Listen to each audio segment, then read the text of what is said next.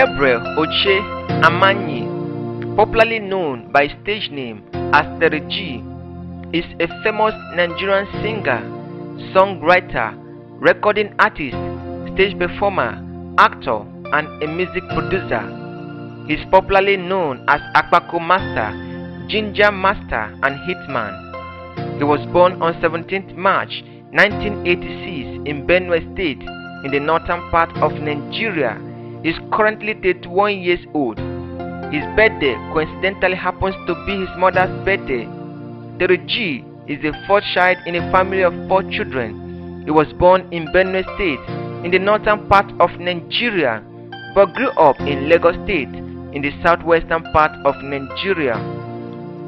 Terry G attended Starfield Educational Center in Lagos State in the southwestern part of Nigeria but due to financial problems he could not further his education. G was introduced to music by his mother, a Choi mistress who encouraged him to join the Redeemed Christian Church of God Praise Palace, Oko Oba Choi, and his time as a chorister enabled Terry G to learn the basic of music production. Through his roots, Terry G started as a gospel artist, but the lack of financial security made him to switch to pop music, and the decision seems to have paid off as he has now found fame and fortune through pop music. After his switch from gospel artist to pop artist, Terry G has his tutelage under one of Nigerian music star Face, who provided backup vocals and honing his music skills. In 2006, Terry G rose to fame after he was featured on chemistry hit single Shake, a song which he produced by himself and which became the first sign of his versatility in music. Terry G became popular after the release of his hit single Pass Me Your Love featuring AY.com and became a public figure after the release of his hit single Akpako Master which ranked top at the MTV Music Chart. He is widely known for his eccentric dress sense called swagger, his controversial lyrics and his awkward identity. He has been described by the Punch newspaper as one of the world's widest singer. He has also been described by Vanguard newspaper as a white singer and has been described by Channels Television as the greatest musician in Nigeria. In 2013, he released his fourth studio album titled Book of Ginger, which he produced by himself in his studio. Terry G is the Chief Executive Officer CEO of TGP Entertainment. The Akpako Master, as is fondly called, received critical acclaim for his unique brand of music and personality. Through his songs, he has admitted to using drugs and alcohol. In September 2014, he told Jen Aguye of the Punch newspaper that he has stopped taking hard drugs. He has cited Two-Face Idibia as his greatest musical mentor and role model.